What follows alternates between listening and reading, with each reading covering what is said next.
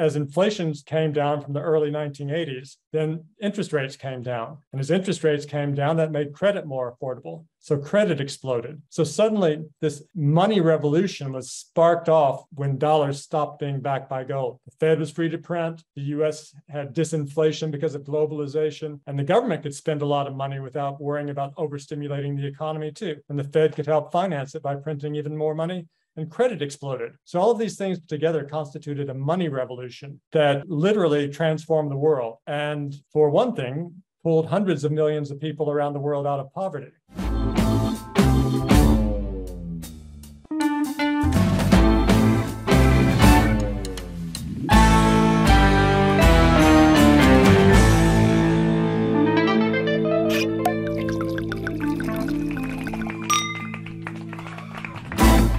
Madison Wiggin, and these are the Wiggin Sessions. Today, joining me on the show is an old friend, Richard Duncan. Richard is the author of four best selling books analyzing the causes and the effects of economic crises and why these crises have brought the global economy to the brink of collapse over and over during the last decades. His latest book, The Money Revolution How to Finance the Next American Century, describes the evolution of money and credit over the last century and the transformation of our economic system from capitalism to what he calls creditism, a transformation that occurred over the five decades since the dollar ceased to be backed by gold. Richard also publishes MacroWatch, a video newsletter he founded in 2013. MacroWatch is available at his website, richardduncaneconomics.com. That's richardduncaneconomics.com. In today's session, we jam about Richard's lifelong love affair with Asia. He's actually speaking with us today from his farm in northern Thailand.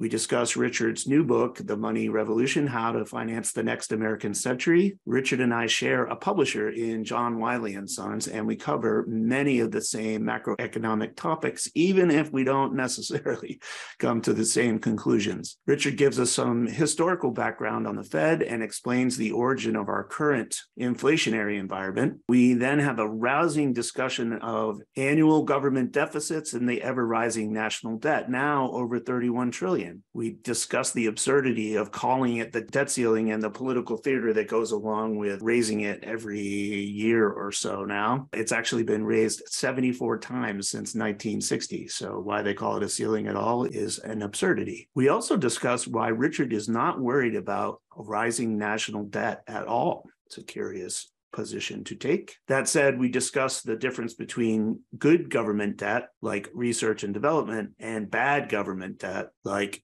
stimulus checks and money printing to prop up the stock market. Richard explains why he thinks the Fed will not issue a Fed coin, a cryptocurrency backing the dollar, anytime soon. They've been studying the issue since 2018 and they continue to study it, but he thinks it wouldn't be in their interest to issue one. Then we cap off our discussion with what individual investors should do to navigate the current macroeconomic environment. Ready? Let's jam. Welcome, Richard. It's good to see you again. As I said, the last time we sat down together was probably five or six years ago here in Baltimore. We had lunch and we were catching up then, and we're catching up again today. Welcome. Thank you, Addison. It's great to see you again. Thank you for in, inviting me onto your podcast. As I said, you're in northern Thailand. Maybe just describe why you're there and uh, kind of fill readers in on where you're coming from. So uh, I am an American. I, I grew up in Kentucky and went to Vanderbilt but after that, I had a great stroke of luck and was able to backpack around the world for a year. And so in early 1984, I saw Thailand for the first time and Singapore and Malaysia. And Southeast Asia was booming. So I realized go east, young man. So after a couple of years back in business school at Babson College outside Boston, when I finished my MBA, I flew to Hong Kong and found a job as a securities analyst uh, doing research on the Hong Kong stocks. And I've spent most of my career living in Asia since then, moving around between Hong Kong and Singapore and Thailand. And uh, well, now for the last 14 years, we've been based back in Thailand for a second time. And this time, uh, in addition to having our apartment in Bangkok, we, we bought a piece of land up in northern Thailand outside Chiang Rai, way out in the countryside it's super beautiful, surrounded by rice paddies and mountains in the distance. So, and it's cool this time of the, year. It gets down to a frigid 59 degrees in the morning here. And it's uh, sunny and cool and beautiful all day long. So the winters are great up here. So that's that's why I'm here now. Yeah, that sounds great. Um, 59 here in Baltimore in the winter sounds like uh, summertime. uh, so let's get started. Um, why don't you describe your new book? Um, it, and the book comes out that it comes out now, right? Right. The book is out now. It, you can find it in hopefully all good remaining bookstores and of course on Amazon.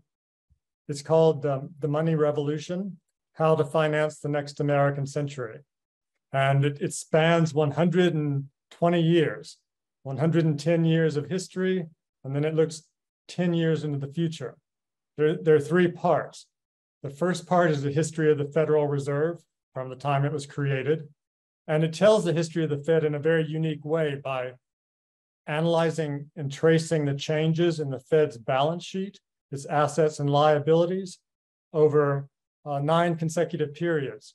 So by looking at the changes in the Fed's liabilities, you can see exactly how the Fed created money. And by looking at changes in its assets, you can see exactly what the Fed did with the money it created. And that's how I tell the story. Um, and then the second part is about the history of credit over the last century or so, and how our economic system has evolved from capitalism into what I call creditism. And then the final part of the book draws on the lessons of the first two parts, the history, to make recommendations about you know, to learn the lessons of that history and to make policy recommendations for how to make the future better. Um, I I just turned in a draft of of uh, demise of the dollar, which does a similar thing. I was focused mostly on um, the onset of massive inflation that we've seen just since the the pandemic. Um, I'd like to start there I know that you have a historical view of the Fed and how we got to where we are, and maybe you can draw on that a little bit. But um, I'd like to understand or help help uh, readers, viewers, whatever, understand how we went from an extended period of low interest rates, low to negative interest rates, um, to overnight inflation and, okay, well, and historic inflation too. Okay, so, yeah, so very important question. The book is called The Money Revolution because I believe that when dollars ceased to be backed by gold uh, five decades ago, that sparked off a, uh, a series of, it unleashed, it, it created a different set of circumstances that caused our economic system literally to evolve. So let me take a couple of minutes and explain this. Under when dollars were backed by gold, well, so it, up until 1968, the Fed was required to hold gold to back every, or gold certificates, more technically, to back every new dollar that it issued. But by 1968, it didn't have any enough gold to issue any more dollars. And so at the behest of President Johnson, Congress changed the law and removed that requirement that the Fed hold gold to back the dollars it created. Now, this suddenly changed everything uh, a number of important things changed. First of all, of course, the Fed was free to create as much money as it dared because it didn't have to have any gold to back up the dollars it created anymore. But the second change is, is, is also extraordinarily important. Afterwards, trade between countries no longer had to balance. When dollars had to be backed by gold, then if the US had had a very large trade deficit, it would have had to pay for that trade deficit with gold, and it would have lost it would have lost its gold reserves, and therefore the money supply would have contracted. There would have been a terrible recession, and uh, the U.S. would stop buying things from other countries, and trade would come back into balance. There was an automatic adjustment mechanism under the gold standard or the or the gold-backed money system under the Bretton Woods system that ensured that trade between countries balanced. So if you look back at in history, U.S. trade was in, essentially in balance. Uh, not only in it, it continued on through the 1970s, it just really became Bretton Woods 68 was the big breaking point. 1971 was the breakdown of Bretton Woods. But by the early 1980s, the US started running massive trade deficits. Uh, uh, by 1985, the US current account deficit was 3.5% of GDP. And it corrected temporarily after the Plaza Accord. But by 2006, it had blown out to 6% of GDP, $800 billion in that one year alone. Now, the reason why this is so important is because it meant that the United States was able to buy things from other countries with very low cost labor. Um, before that time, if the US government spent too much money and the Fed printed too much money, then that would have overstimulated the US economy and led to uh, full employment and full industrial capacity utilization and a wage push inflation spiral. But after we started having these massive trade deficits, which became possible when dollars were no longer backed by gold, suddenly we were able to circumvent all those domestic bottlenecks and buy things from countries with very low cost labor. So, for instance, I moved to Hong Kong in 1986. Soon afterwards, I, on business trips, I would go across the border into China and see factories full of 19 year old women earning $3 a day as far as the eye could see into the horizon. And so this was extraordinarily disinflationary. And suddenly, so that was the big, the second change. As inflation came down from the early 1980s, then interest rates came down. And as interest rates came down, that made credit more affordable. So credit exploded. So suddenly, this uh, this money revolution was sparked off when when dollars stopped being backed by gold. The Fed was free to print. The U.S. had disinflation because of globalization, and the government could spend a lot of money without worrying about overstimulating the economy too. And the Fed could help finance it by printing even more money, and credit exploded. So all of these things together constituted a money revolution that literally transformed the world. And uh, for one thing, pulled hundreds of millions of people around the world out of poverty. As the US trade deficit became larger and larger, other countries' surpluses became larger and larger. And this, for one example, completely transformed China and turned China, changed China from being a very poor country when I first saw it, a poor developing country in the mid 80s, into being now the, the global superpower nipping at our heels. Um, and along the way, pulled hundreds of millions of people out of poverty. So that, that was the good side of this transformation. The bad side is it has created a global credit bubble that is always on the verge of imploding and, and periodically starts to implode and has to be reflated, as we saw in 2008 and again in 2020. Yeah, um, but, that's the background. Uh, yeah. I haven't answered your question. Yeah, right.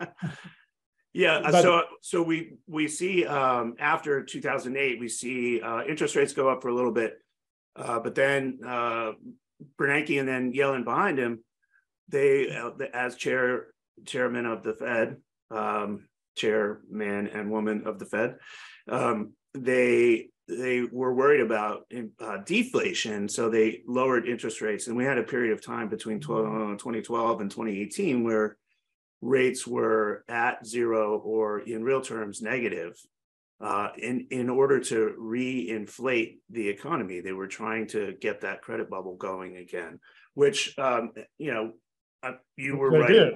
Yeah, you were writing through it. I was writing through it, and we were just going. This is crazy. This is insane. This is going to cause massive inflation at some point. And it took a pandemic to make it happen. But maybe you can walk us through, maybe from 2012 to 2021? Yeah, so well, 2008, of course, the big bubble started to implode then, and the government responded with trillion dollar budget deficits for four years in a row and three rounds of quantitative easing that uh, took the Fed's total assets up from 1 trillion to 4.5 trillion by, by 2014. And despite those extraordinarily large government budget deficits and all of the money that the Fed created to finance them, the highest rate of inflation we got in that period was 3.8% inflation in 2011, and the CPI inflation. And by 2015, we actually dipped back into deflation again. And this was despite the, the base money supply increased by 150%. in two, in, in 2008, year on year, which uh, was much, much higher than anything we'd ever seen before. But that didn't result in high rates of inflation. Now, this time, um, base money in 2020 didn't increase as much this time as it did that time. This time, base money increased by, rough, I think, 80% as opposed to 150%. But um, but there were other factors, of course. The way the money was handed out this time was quite different. The first time in 2008, it more or less went to shoring up the banks. But this time, the money was sent out directly in stimulus checks to American households and to American businesses. Households got $1.8 trillion of stimu- stimulus checks. Businesses got $1.7 trillion of stimulus checks. And when people get checks, they deposit them. And so this caused bank deposits to skyrocket by about 35% uh, over a two year period. And deposits make up part of M2, a different measure of the money supply. So M2 grew by 27% this time, whereas in 2008, that period, it peaked at only about 10%. So this was one of the major changes. And honestly, I, I didn't see that coming. I didn't see until afterwards that that had, that, that had happened and the significance of that. So with all of this firepower, the Americans were locked at home and couldn't go out, had money to spend, couldn't spend it on services.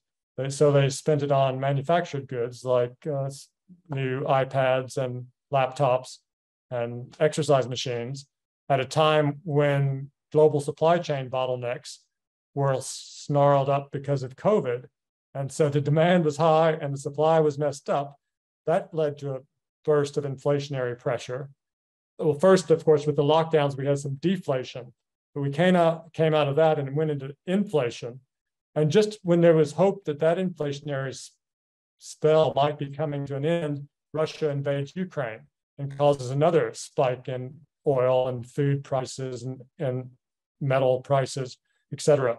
So this global supply chain bottlenecks and the invasion of Ukraine represented a partial reversal of globalization.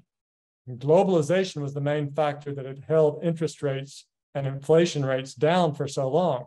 This partial reversal is largely responsible for the increase in inflation, but not entirely, because all of the stimulus checks that went out to the Americans provided a lot of spending power that also bears part of the responsibility for the inflation that we've seen. Yeah, you've had the massive bank deposits or elevated bank deposits historically um, from what we had seen in the past, what, 40 years. um, really big bump on the chart. Yeah, and it, actually, if you look at the chart, it's, it's dramatic because um, right during the pandemic year 2020, and then a little bit uh, in the beginning of 2021, savings rates, which are bank deposits, go go way high, and consumer credit drops, which is which is uh, a, a, phenomenon all of its own in the U.S. because everybody uses credit cards and mortgages and uh, refinance their houses and they uh, take out home equity loans. We, we the entire economy is run on credit, as you as you had described as creditism. Uh, but but consumer cr- credit actually went down when the pandemic hit and savings went up. So it kind of, it already had a ripple effect in the economy. It was a bizarre event for anyone who's been following it. We're like, hey, what's going on here? But then um, as the economy started opening up, the inflation rate, for the reasons you uh, you point out, it started going up. People started getting a little bit of inflation psychosis going, where they're like, "Hey, I better buy it now because it's going to be more expensive later." and the savings rate plummets at the same time that consumer credit goes through the roof. And now we have this huge divide where people have like depleted those stimmy checks and they're just living off their credit. And which is a, a dangerous situation because uh, credit card rates have gone through the roof, and all of the things like mortgages and home equity loans especially if they're on any kind of adjustable rate, have have increased dramatically. And I that's also that that level of credit in the system is also uh, contributing to um, to inflation, and it's making it harder for the Fed to uh, tamp it down just by raising rates. Uh, and I agree. It is a it is a worrying situation. Uh, I think that Americans took their stimulus checks and paid down their credit card debt to some extent, and then once they'd gone through all of their stimulus money, now they're running up their credit card debt again, and that, that's why we're seeing this big, you know. So they're still spending, or they have they were spending up until a couple of months ago. Now it looks like it's slowing down pretty sharply, and with the interest rates moving higher, it is likely that we will have a recession before long. But I do think we have to, you know, take a balanced view. And once the decision was made to shut down the economy, then had the government not come through with these big stimulus programs, it wouldn't have taken long for, I mean, unemployment was up at 14%. It would have kept going to Great Depression levels. And with the Americans locked down, it wouldn't take long for them to start defaulting on their mortgages, their car loans, the credit cards, all their debt, which of course no bank could withstand.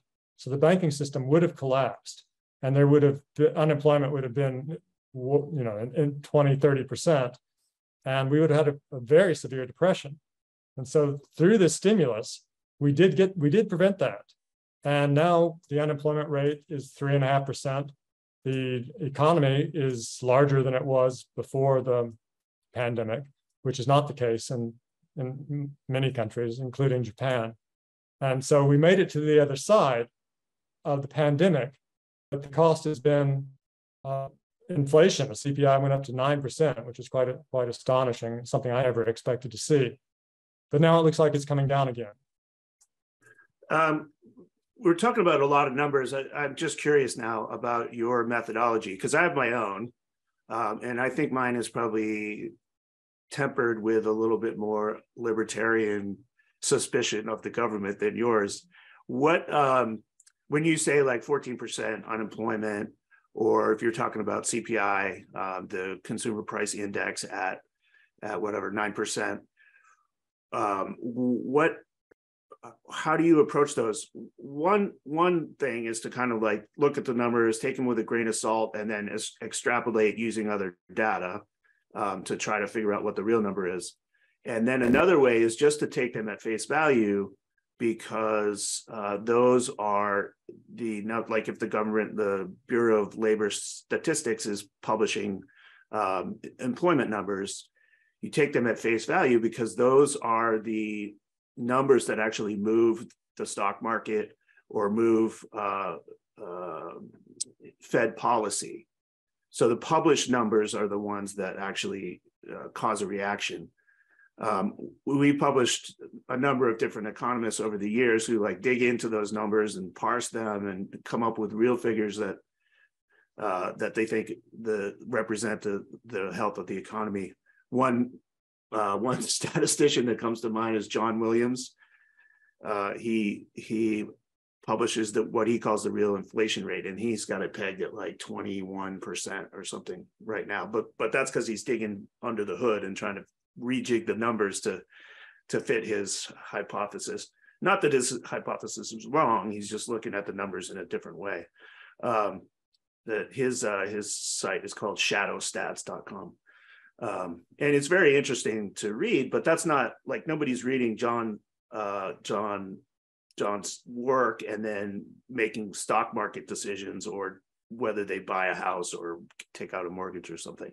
So I'm just curious about your methodology. Like how how do you approach the data that we get? Because that like especially as writers or people just um, doing YouTube, we only have one tool, and that is the the information that we can dig up online. Right. No, I mean I'm sure that there is a good case to be made that inflation may be higher than the government statistics. But uh, the data I use, I, I pretty much rely on the government data because that is the market information and that's what moves the market. And I, you know, I'm more, I am more government friendly than you are. I don't think that there's a huge conspiracy inside the government to cook the numbers to, you know, to deceive the American public. I think these people are trying to do the best job they can do. There are thousands and tens of thousands of them, and uh, some prices go up and some prices go down. For example, when I went to Hong Kong, uh, a it used to call, cost $100 for a five minute telephone call to Kentucky. And, and now you and I are speaking for free um, with video, with a really good connection. So that's 100% deflation in telecommunication costs, plus a big boost of video for free. So some prices do go up and some prices go down, and they fluctuate. I mean, oil was $120 a barrel. Now it's what, 75. So there's been quite a big drop in oil prices. I, I don't think you would disagree with that. So, so I think you know, I think that the reported data is is worth using as a base case since it's pretty difficult to prove any other. And even if it is somewhat too high, it's probably I mean too somewhat too low. It's probably going to move in the in a consistent trend, maybe just a little bit above what the actual numbers are. But I'm not very disturbed that inflation is, you know, 25% and it's going to go higher. It, it looks like to me we're going back into a period like we saw from, from 2000 until the pandemic started. The Fed couldn't hit its inflation target of 2%. The average inflation rate was below the 2% inflation target during that 20 year period because globalization is so deflationary, so disinflationary. And I believe that as if we move back into a more normal period where globalization reasserts itself, then we're probably going to be back before too long, back into a period where inflation's quite low again. Now, things could go wrong. Uh, I didn't foresee Russia invading Ukraine. If we have a war with China over Taiwan, then we're going to have very high rates of inflation and we're going to have price controls. But that's what happens during a war lots of other things could go wrong. But hoping for the best, hoping that things begin to return to normal, then I think we are going to see inflation come down and and after some time interest rates will come down as well but, but not not immediately. I think interest rates still have some further upward uh, rate hikes ahead of us for the next few months. Yeah um, it's worth me pointing out that i'm actually agnostic on the government. I just don't like them. I, I I follow the camp of I just don't like being told what to do, and I hate writing checks to them. But that's just a personal uh, impediment. well, I view them as um, you know, it's our government. We are the government. Yeah. We just need to get the right ideas in place so that our elected officials do the right things and bring about the best outcome. Because you know what is what's the alternative? We don't want to have a author- authoritarian system like China does, where one man is ruling everything. Yeah. Uh, so you know, as I say, democracy is the is the worst form of government except all the others. Yeah, we've right. got to work with what we've got. Yeah. Well, and also methodology wise, I fall in the camp of of using the government statistics too, because I do believe that they're they're the statistics that move the market. And if you want to make a cogent argument that uh, steps out of out of any kind of political philosophy, you it, you're uh, beholden to to the statistics that people use.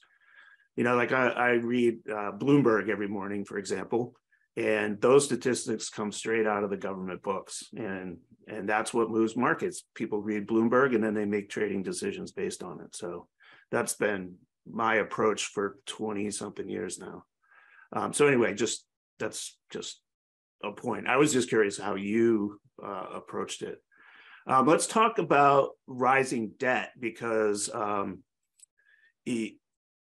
uh, as as we move into an era of creditism, debt became institutionalized within government. There used to be two parties: one that uh, encouraged government spending, and one that uh, the conservatives in either party were concerned about um, the balance sheet year over year the deficit that we um, we spend more money and we have every year we just went through another one every year we have the debate over raising the debt ceiling which makes you wonder why they call it a ceiling at all it's been raised 74 times since 1960 which is just like why call it a ceiling Um, and then uh, and then those persistent deficits lead to uh, exploding national debt. It's something I've been tracking since uh, the late 90s.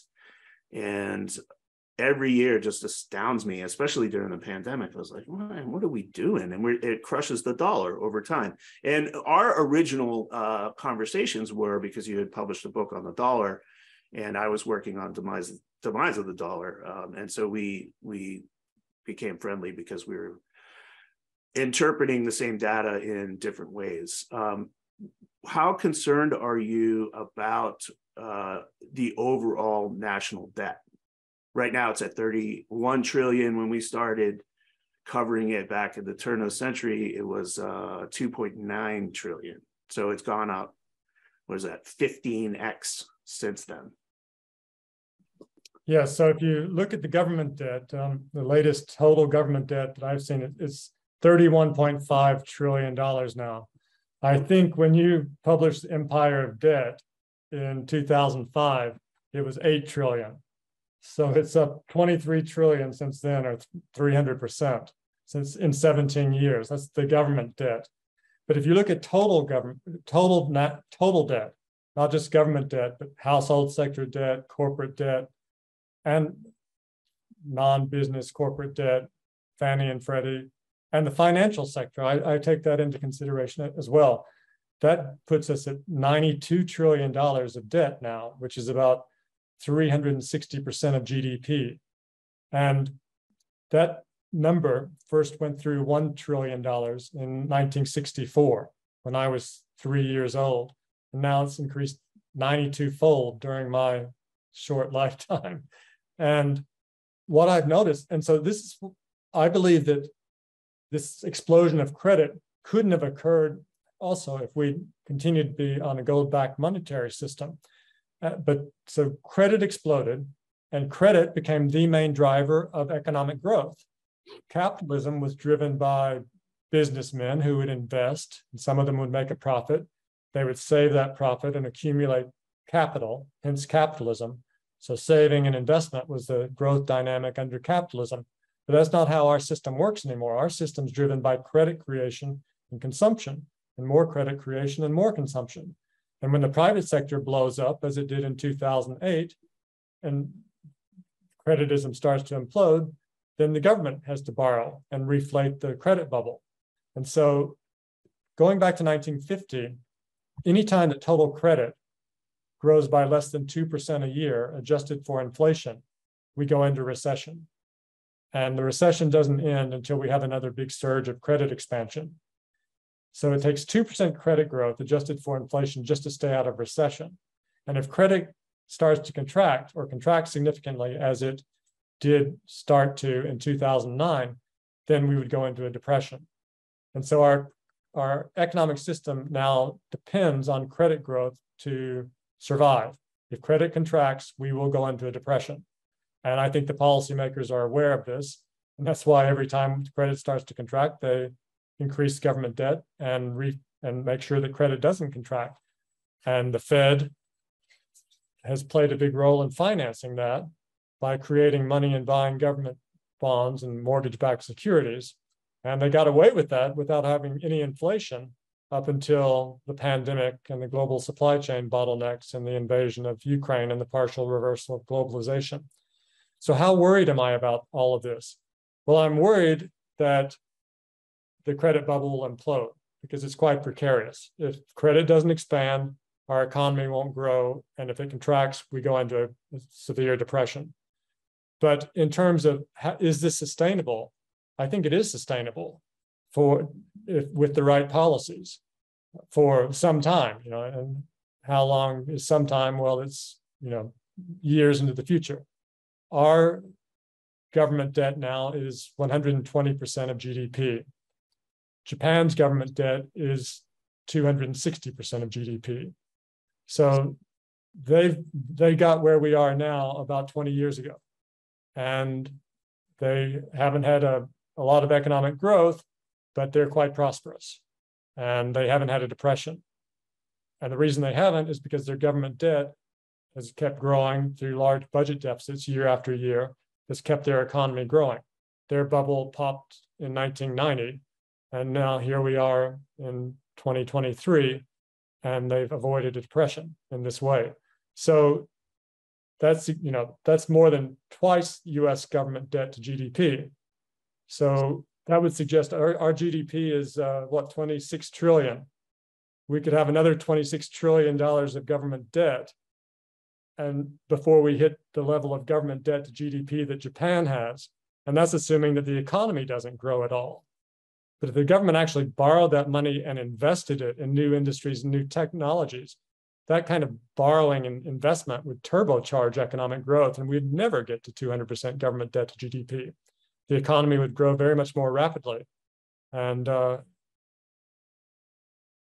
so I'm not, so if the right policies were carried out, then we can get past this precarious position and grow our, grow our way out of this crisis. But if the wrong policies are carried out, for instance, if uh, the debt ceiling debate insists that the government contract its debt and government credit will contract, that will throw millions of Americans out of jobs. So private sector credit will contract, credit will contract, the economy will spiral into a debt deflation depression like the 1930s. So that's the that's what worries me. Austerity. Uh, so I'm going to ask you about what the right policies you think are, but um, I want to go back to the question: Why do we call it a debt ceiling at all?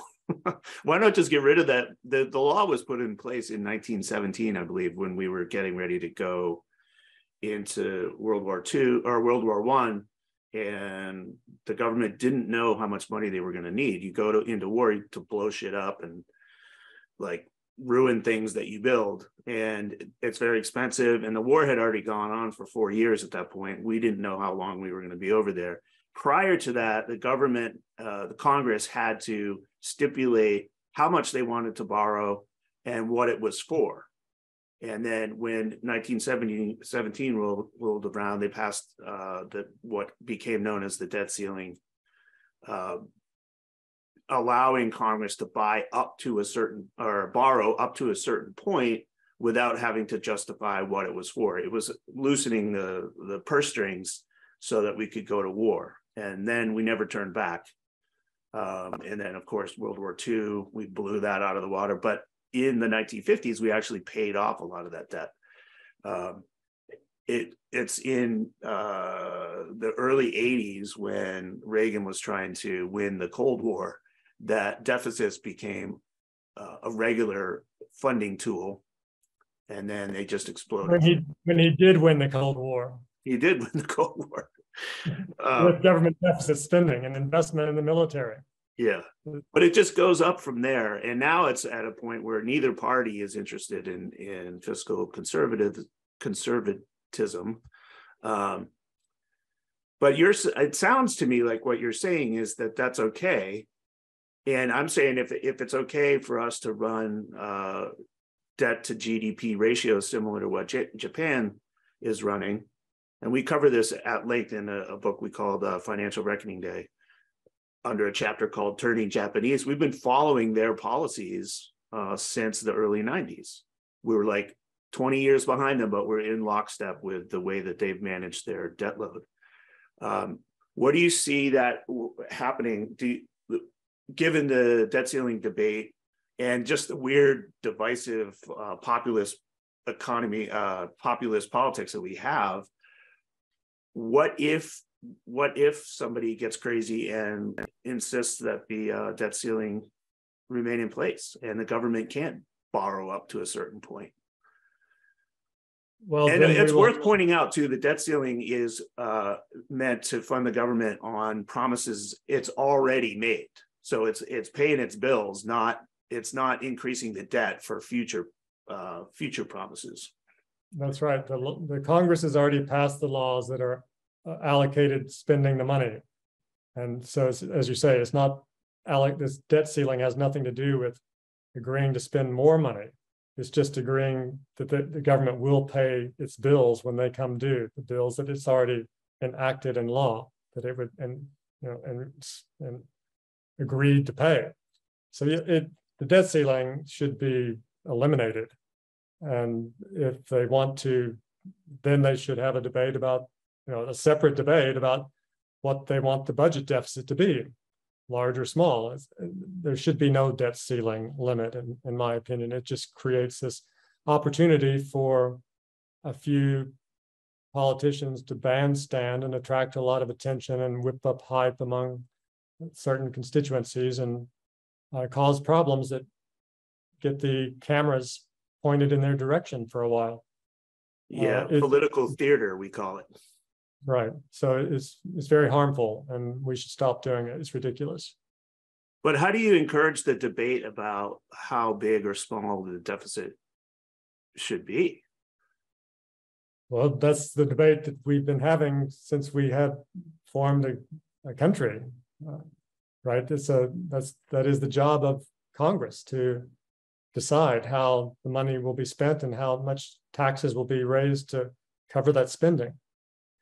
But so from from my perspective, and, and the main argument that I make in this book, drawing on the lessons of the last 100 years, what should be our policy for the next 10 years? What should we learn from this money revolution that's occurred? And what I conclude is that, look, our economic system is dependent on credit growth. We have to have credit growth to stay out of crisis. And so we are probably going to continue to have growing credit.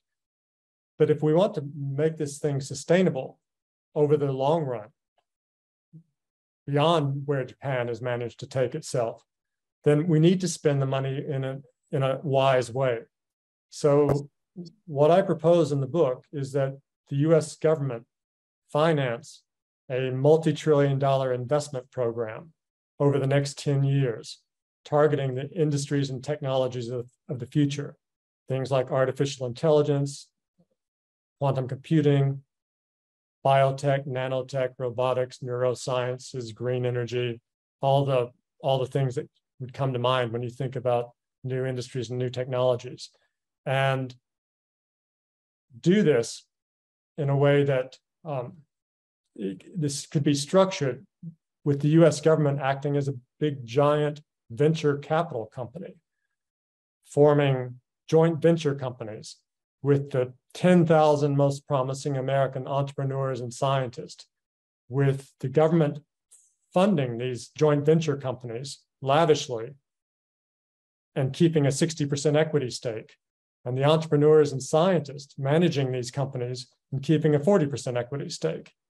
And when one of these very well funded companies invents a cure for cancer or Alzheimer's disease or you know a chatbot that can write Shakespearean prose as if a dog had, had, had conceived it. Um, you list these things on NASDAQ for trillions of dollars, and this whole thing pays for itself many times over. And it induces a technological revolution that would turbocharge US productivity and economic growth. And it would keep us out of depression because our credit bubble wouldn't implode. And also importantly, uh, it would ensure that we remain the, the global superpower and are not overtaken by China, which we are just about to be overtaken by. China is now investing more in research and development than the United States does. So if we we're really in danger that China is going to develop artificial general intelligence before we do.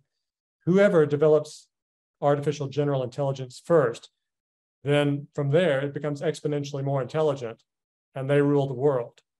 And at this rate, well, in the year 2000, the United States invested uh, eight times more in research and development than China did. But in 2019, China overtook the US in R&D investment. And if current growth rates continue 10 years from now in 2031, that year, China will invest 40% more in research and development than the United States does. If we allow that to happen, China is going to control the world. Our national security is at risk because government investment in R&D has been declining decade after decade after decade as the government fell out of favor. Um, and as Americans lost faith in the ability of the government to do anything, they stopped investing the way that they had done following the Sputnik crisis in the late 50s. In the, in the 60s, the government invested a lot in R&D and we won the space race. But since then, government investment has declined to very low levels. And now, once again, we're facing a new Sputnik moment where we're about to be overtaken by China. So national security is a very real reason that we desperately need to invest more in research and development. And the government can afford to do this on a multi-trillion dollar scale with financing from the Fed uh, with paper money creation to help finance this at low interest rates. So finally, finally, the main reason though is that I believe we should do this because I call it a moral imperative. It would be so easy for us to finance a multi-trillion dollar investment program over a decade. And it would produce such technological breakthroughs and medical marvels that it would radically enhance human well-being. And really, we have the shot of curing all the diseases and expanding life expectancy by potentially decades. For instance, the National Cancer Institute, their budget is $6 billion a year. That's not curing cancer. Cancer kills 60,000 Americans, 600,000 Americans every year. Six, the budget, $6 billion a year. That's 5% of one month of quantitative easing last year. Last year, quantitative easing, well, 2021, quantitative easing was $120 billion a month. Six billion is 5% of that. Um, Six billion is not curing cancer. If we increase this over a 10-year period in a sensible way, we would really have a shot. I mean, we, you know, by a factor of 10. If 6 billion isn't doing it, let's take this up to 60 billion, and that will. And so we have the shot of radically enhancing human well-being through an investment program of this type in this new economic environment that has come about after dollars ceased to be backed by gold and we've gone through this money revolution. Just bear in mind this, in three months, in the, in the second quarter of 2020, US government debt rose by $2.8 trillion in three months. And the Fed financed that by creating 2.9 actually trillion dollars in that same three month period. Um, that is a multi trillion dollar increase in government debt in 90 days. I'm not, and okay, that combined with other problems led to inflation. I'm not talking about a multi trillion dollar investment program over 90 days. I'm talking about over 10 years. Um, and this is something we, if we can finance $2.8 trillion increase in government debt in one quarter, then just you, obviously we could do that over a 10 year period very easily. Um, and the, the benefits that would accrue to the United States in terms of national security and to humanity as a result of the technological breakthroughs that would result from this are would be overwhelming.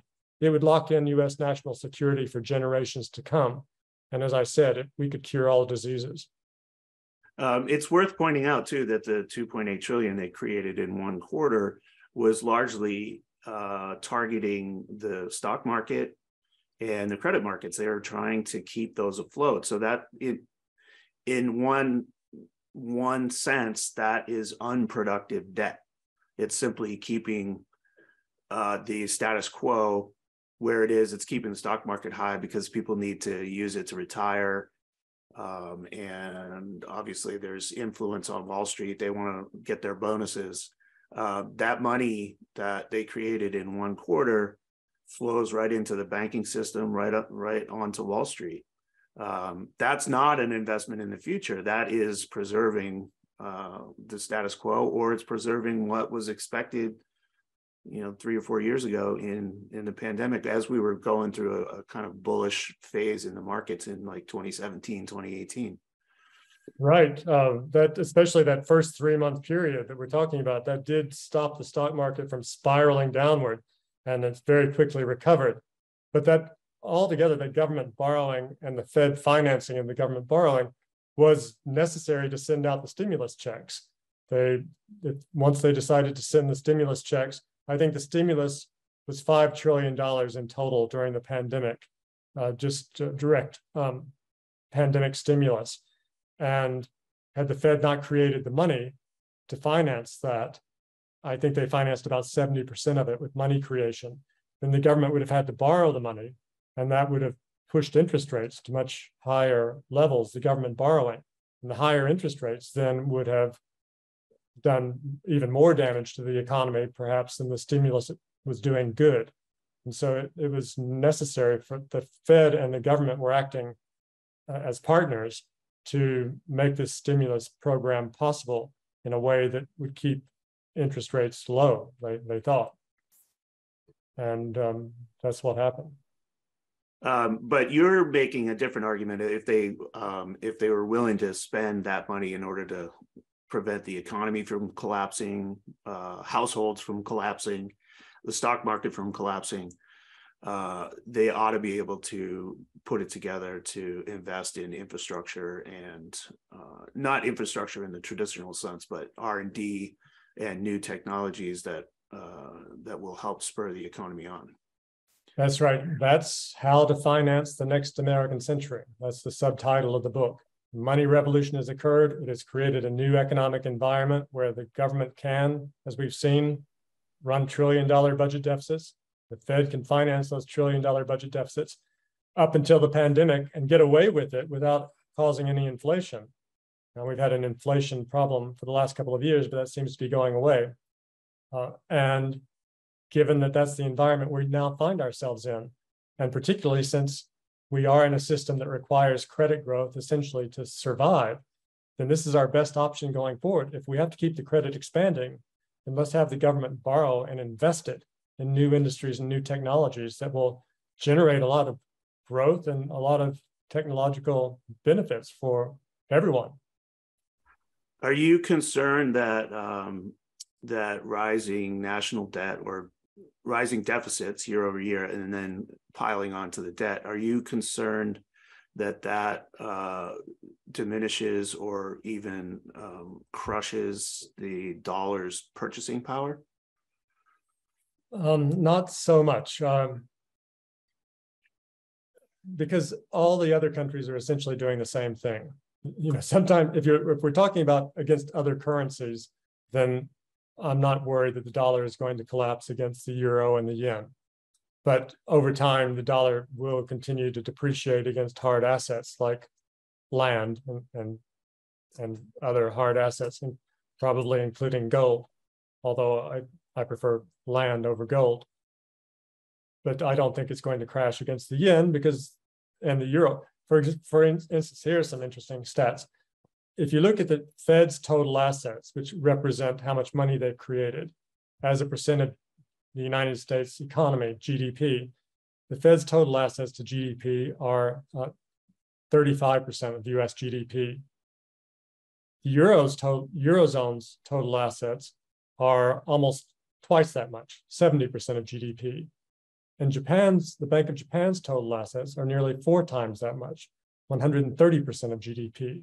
So we're actually the laggard in, in this money creation game relative to the Eurozone and Japan. So this suggests we ha- we can take this considerably further before before becoming before it won't work. Do you ever and get? I'm not, I'm not. I don't believe. You know, I'm not saying this window of opportunity that I'm discussing right now it won't stay open forever. Something will go wrong one day. And we've, we've had a taste of that over the last two years uh, with the Russian invasion of Ukraine. Who expected that?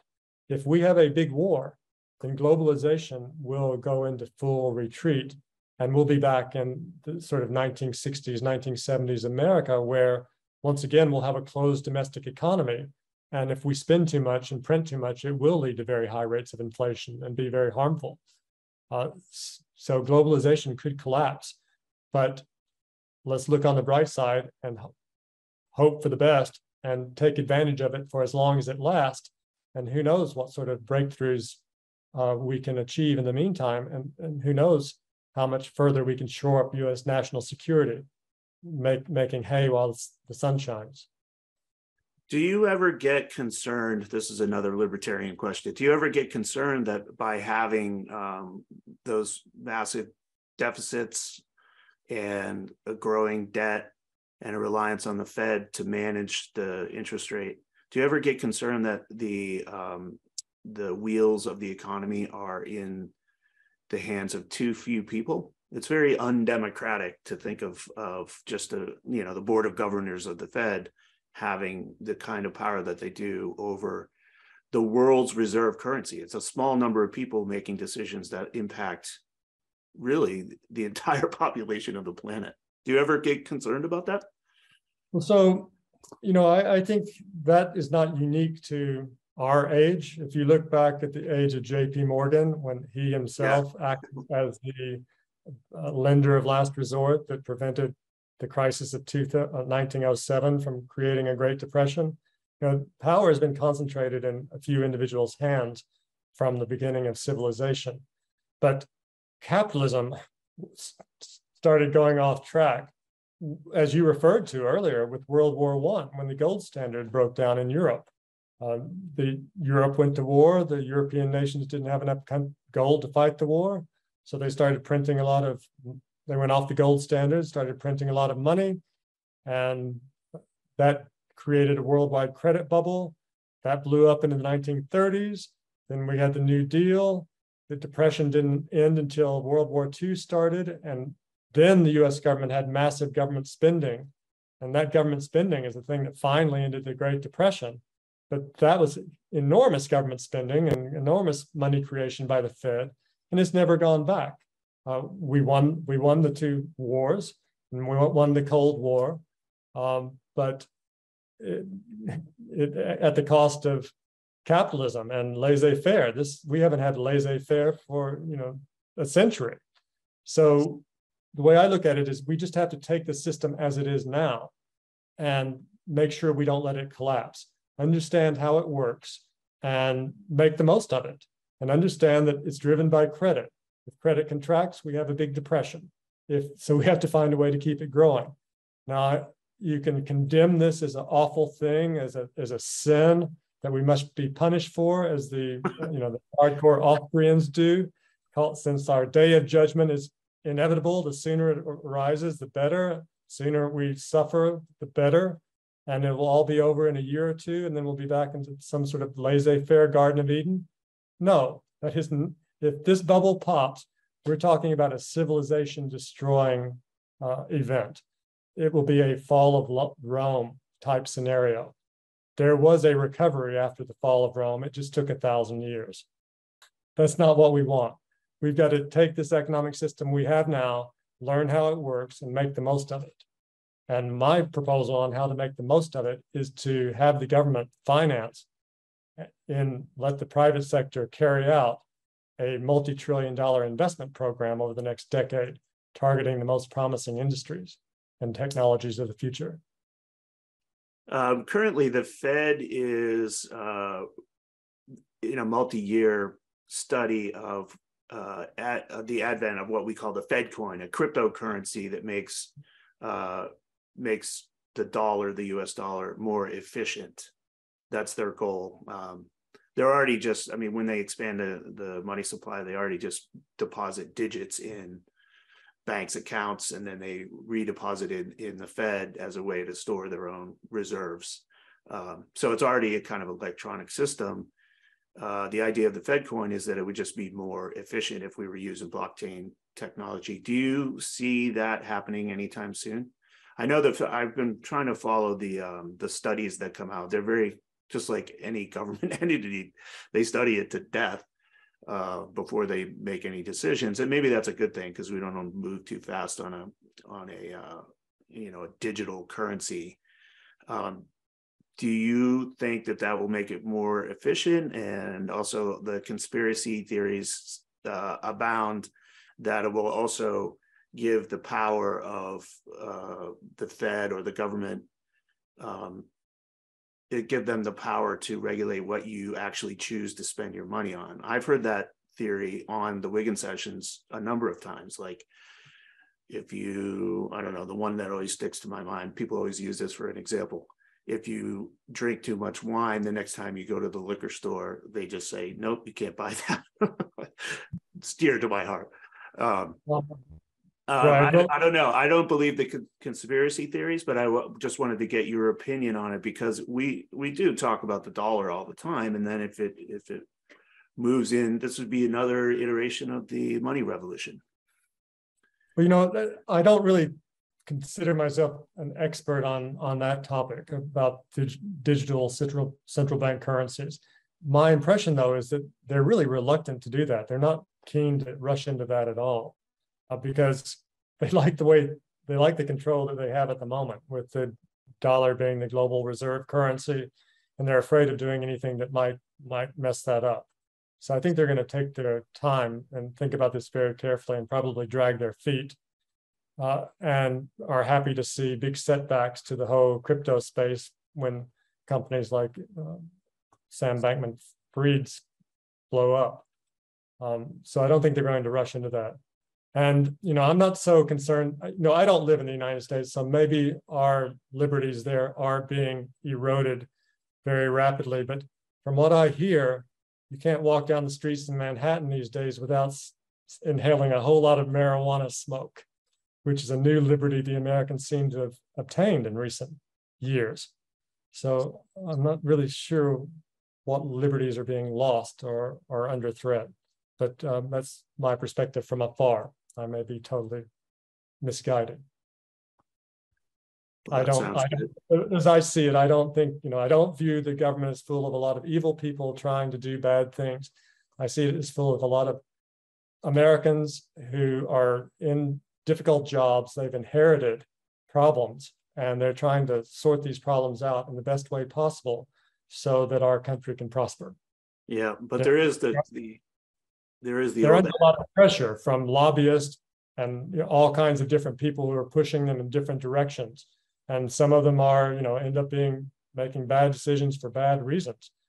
Um, but hopefully the democratic process will work that out over time and the right decisions can be reached.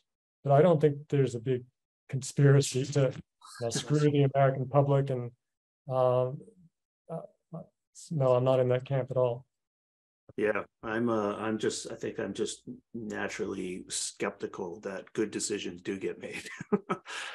um and also I I am a firm believer in the adage that there's two that I like. Uh no good deed goes unpunished and the road to hell is paved with good intentions. so I think that applies to a large chunk of uh bureaucracy. But that's just my camp.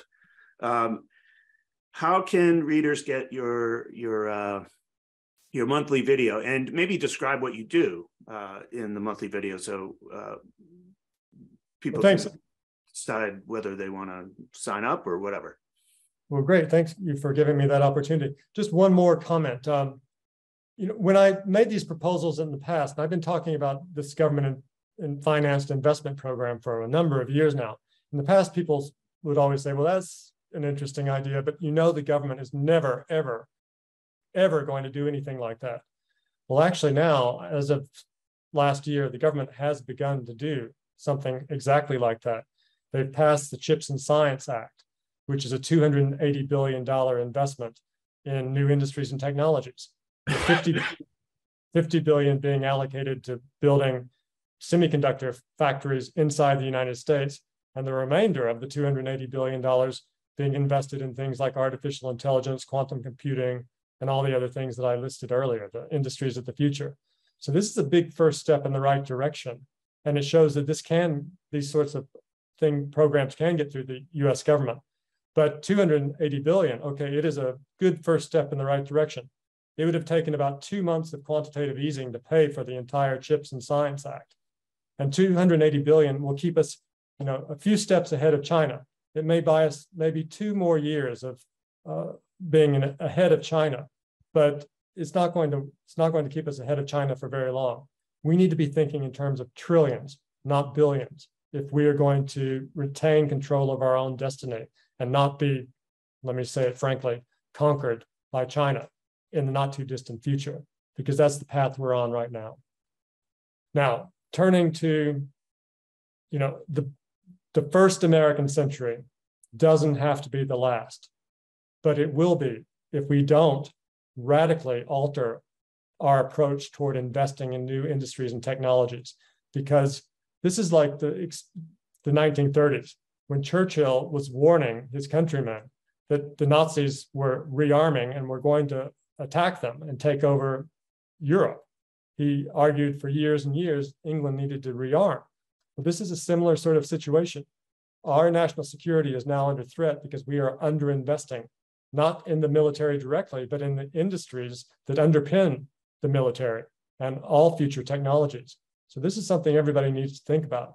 You may not like the government, but you're going to dislike the Chinese government a whole lot more than you dislike the American government. Um, how much? Uh, I, I, just have a, a, short question on that. Um, how much of the if, if uh, government spending in R and D is going down, how much of that is made up for in the private sector? R and D, like in uh, like the, uh, big pharma, for example, those budgets are massive, and they're, they're all privately funded through um, through the stock market mostly. But the the R and D for drugs and uh, a lot of the technology is uh, in private hands. How much of that has increased as government uh, investment in R and D has gone down? So there are three. They break R and D into three categories: basic research and development, um, sort of applied development. I think that no um, experimental development, and then uh, applied development. And businesses focus on the latter two because those are the ones that more quickly generate products and, and profits. But it's basic research that needs the funding from the, the government, the financing from the government, because that's where all the basic fundamental breakthroughs come from. And the corporations tend to focus more on experimental development, which actually, you know, of course, that's their job is to make profits and to invest in profitable things, not to do the fundamental basic research that actually then 10 or 20 years down the road creates a new wave of innovations and that Schumpeter referred to waves of innovation driving the economy. So the government role is, is more on financing the, the basic research and development. And that's where the, the private sector falls short. All right, let us know how uh, we can uh, get your video newsletter, Macro Trends. Yeah, so thank you very much. Um, so for nine years now, I've been making a video newsletter that I call Macro Watch.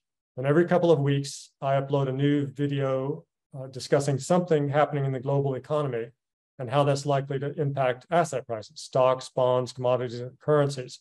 Now, since the Fed plays in recent years plays such an important role in what happens to the markets, I do pay a lot of attention on what the Fed is doing. For example, during most of 2021, one of the big themes recurring through Macro Watch was the liquidity tsunami that was pushing asset prices higher, with the Fed creating $120 billion a month and pumping it into the markets. It's not at all surprising the markets went up. But when the Fed started signaling that it was going to taper, and then Macro Watch turned bearish because when the Fed is creating money, its asset prices tend to go up. And when the Fed is destroying money, as it is now through quantitative tightening and rate hikes, asset prices tend to go down. So there's a lot of focus on what the Fed is doing, but it also looks at the other central banks. It looks at a wide variety of macroeconomic issues and how they are likely to impact the, the asset markets. And it explains how the economy really works now. Classical economic theory was all constructed on the founding premise that gold was money. And everything else in classical economic theory was built on that understanding. But when gold stopped being money, the economy now works in a very different way than it did before. So MacroWatch strives to explain how the economy really works today so that subscribers can make more informed and better investment decisions for themselves and actually understand what's going on around them. So I hope your audience will visit my website, which is richardduncaneconomics.com. And if they'd like to subscribe, hit the subscribe button. And I'd like to offer them a 50% subscription discount if they type in the discount coupon code February, like February, they can subscribe at 50% off. So that's richardduncaneconomics.com. Take a look and at the very least, sign up to my free blog while you're there. I hope you'll check it out. All right. Thank you, Richard. It was great talking to you today. Thank you, Addison. Great seeing you. Let's let's do this again before too long. And thank you for your gentle treatment of my non-Austrian economic views. hey, I learned a lot from these uh, these interviews, so um, I appreciate uh, you coming on and helping me with a new perspective. Well, the economy doesn't work the way it did in the past, and you know every generation has to overcome the challenges that it inherits, and we've got to do that now. We yes, we have challenges, and we've got to overcome them. All right, thank you, Richard. If you'd like to follow Richard's work, you can do so by signing up for Macro Watch, a bi weekly video newsletter. You can find Macro Watch at richardduncaneconomics.com. That's richardduncaneconomics.com. And if you hit subscribe on the website and use the promo code February, you'll get a 50% discount. That's promo code February, the month, and spell it right. It's F E B R U A R Y. It's a mistake I always make. Richard set up the discount, 50% discount just for Wiggin Sessions viewers and listeners. So if you want to take advantage of Richard's insights, you can do so at a 50% discount by using promo code February. I hope you enjoyed today's session. If you did, let your friends know, send them to jointhesessions.com. That's jointhesessions.com. Let's jam.